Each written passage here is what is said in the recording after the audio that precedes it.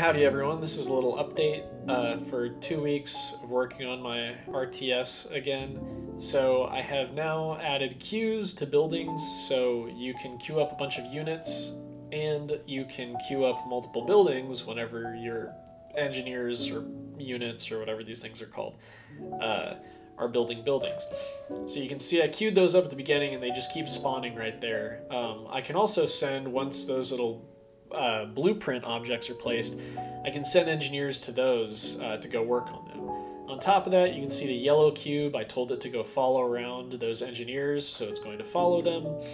Um, and you can also select multiple buildings and queue up units on all of those buildings. So you'll notice that I only have to click a few times and already there's, you know, 100 uh, units queued up. Um, also, when you're selecting, it will filter out the buildings if there are more units than buildings, since sometimes you're going to be building your army and you want to select your army across your entire base without necessarily selecting all the buildings. On top of that, you can also now see in the bottom right what units are currently selected. Um, there's a UI that tells you like, hey, you know, you've got six engineers and nine doodads selected. Um, you can also queue up actions, so there's no more state machine. I have an action queue, so I can tell units to go do a whole bunch of things sequentially, and they will remember to do all of those.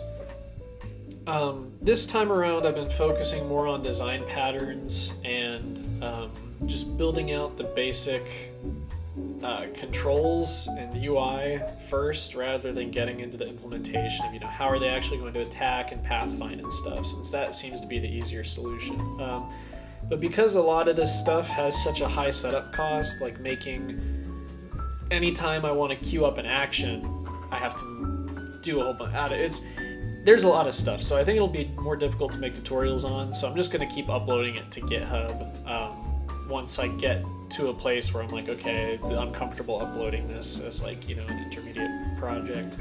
Uh, so, anyways, that's basically it. Thanks for watching.